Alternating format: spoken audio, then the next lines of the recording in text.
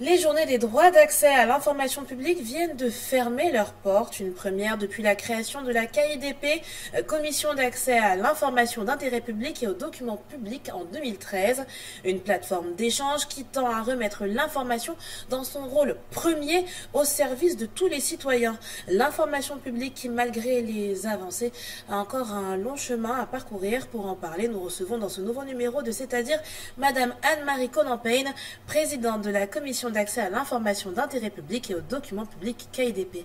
Madame Conan Payne, merci d'avoir accepté notre invitation. Bonjour Ashley et merci de nous recevoir sur ce plateau. Vous revenez des journées du droit d'accès à l'information publique qui ont été organisées les 26, 27 et 28 septembre ici à Abidjan. Euh, est-ce que vous pouvez faire le bilan de cette première édition? Ben, En termes de bilan, euh, nous pouvons dire que c'est une grande satisfaction parce que nous avons pu réunir en trois jours, le 26, 27, 28 septembre, toutes les parties prenantes, la majorité au plus haut niveau, pour pouvoir échanger sur euh, cette question euh, du droit d'accès à l'information publique.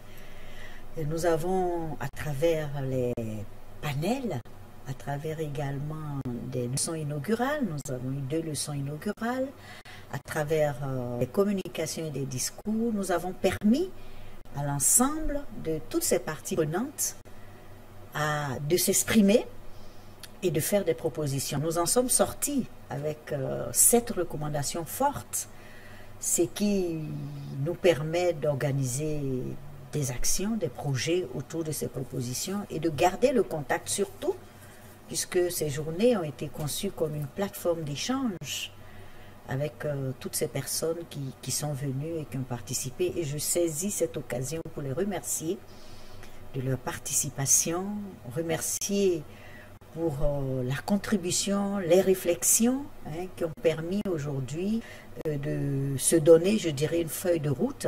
Et je peux retenir l'une des propositions qui consiste, à, à nous inviter à organiser les états généraux du droit d'accès à l'information en Côte d'Ivoire.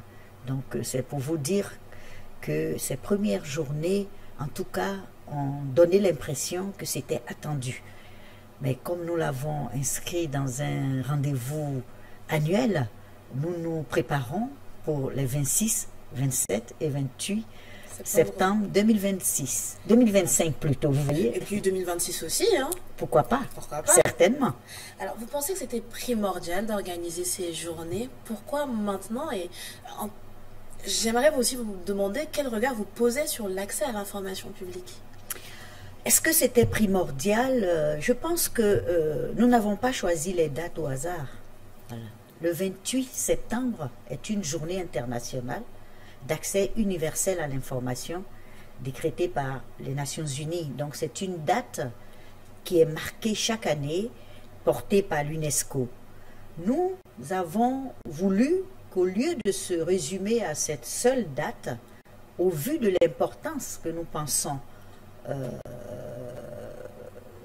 portée par le droit d'information, au vu de l'importance du droit d'information, qu'il était important de se donner un peu plus d'espace, un espace national.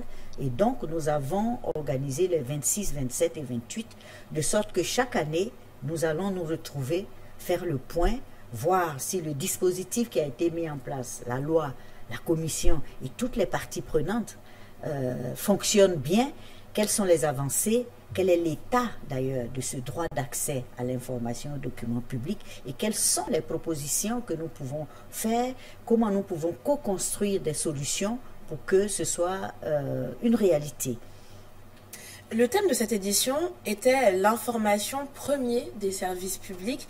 Pour vous, à quoi font face le plus souvent les organismes publics en termes d'accès à l'information, mais aussi bien évidemment de partage?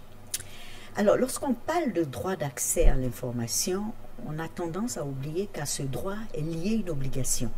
Laquelle? Ben, L'obligation de mettre à disposition l'information. Et en général, ce sont les organismes publics qui ont cette obligation, qui pour eux, lorsqu'ils euh, ils, sont face à ce droit d'accès à cette loi, pour eux, c'est une obligation d'organiser l'accès à l'information des citoyens. Alors, ils l'organisent de deux manières, soit en mettant eux-mêmes volontairement à des échéances précises un certain nombre d'informations sur leur support de communication, notamment sur les sites web, soit ils sont sollicités par des citoyens qui demandent une information ou un document précis. Et ils sont tenus de mettre à disposition cette information. Alors, euh, votre question, c'est pourquoi euh, le thème, oui. Euh, l'information premier des services publics? Déjà, ce choix, nous l'avons fait et Dieu merci, ça coïncidait aussi avec le choix de l'année, de, le choix annuel euh, du 28 septembre tel qu'arrêté par euh, les, Nations Unies, euh, qui lui, en fait, met en perspective le rôle des services publics par rapport à, à l'information. Nous, nous disons que c'est le premier des services publics, donc en quelque sorte, nous pensons que les administrations publiques ont une, une obligation de d'appréhender la question de l'information comme un service public au même titre que l'éducation, au même titre que la santé. Et nous avons donc euh, fait du ministère d'État, ministère de la fonction publique et de la modernisation de l'administration, euh, le ministère à l'honneur. Je voudrais une fois encore remercier Madame la ministre d'État qui a vraiment mobilisé ses services et qui ont participé activement à euh, ces premières journées du droit d'accès à l'information. L'information premier des services publics, oui, parce que lorsque euh, vous offrez un service public, si vous n'avez pas organisé l'information qui doit l'accompagner, il est entendu que euh, vous enlevez une partie de la qualité de l'information, de, de, de, du, de, la qualité du service, de ce service public, au risque de, me répéter. Donc pour nous, c'est effectivement un le premier des services qui doit être organisé pendant que nous organisons euh, nos responsabilités, pendant que nous produisons les services, pendant que nous organisons ou nous mettons en œuvre des projets, euh, nous ne devons pas oublier que nous devons organiser également l'information en amont, pendant et après. D'où l'idée de l'information premier des services publics.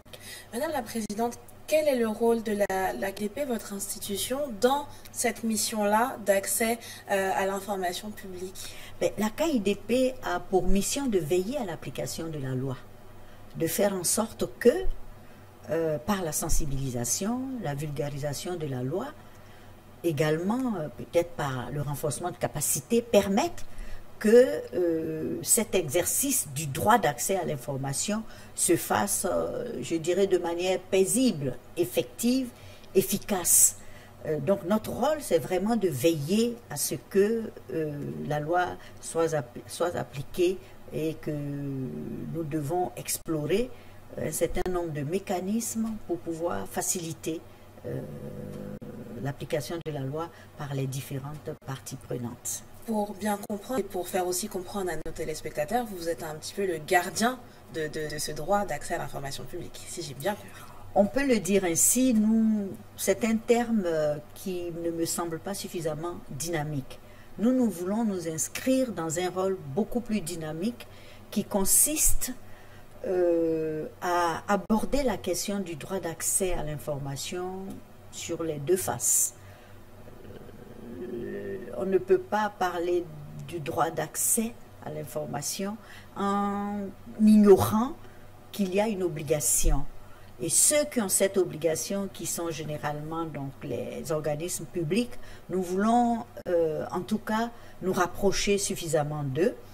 La loi leur fait obligation de désigner un responsable de l'information.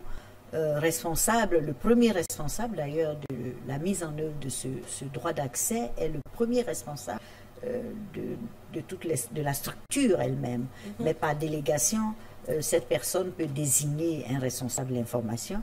Donc je disais que nous allons essayer de faire en sorte de capter suffisamment les freins à l'exercice de la mise à disposition que ce soit proactive ou sur demande.